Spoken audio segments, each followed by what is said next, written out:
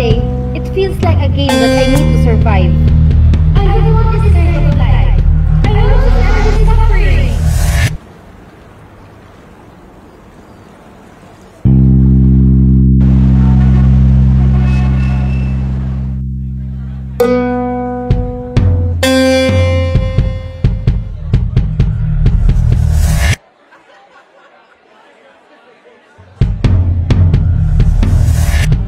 Glad that I do have friends now.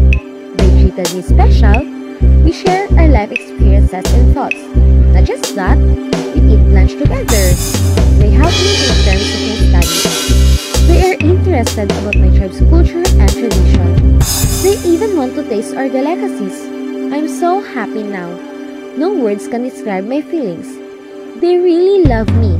They accepted me for who and what I, I am. I never, I never felt this kind of treatment and that before. before. But then, then it's, it's all my, my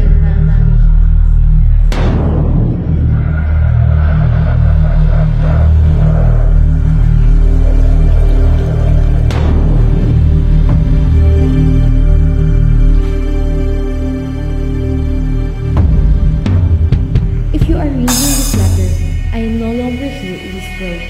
I already gained you freedom.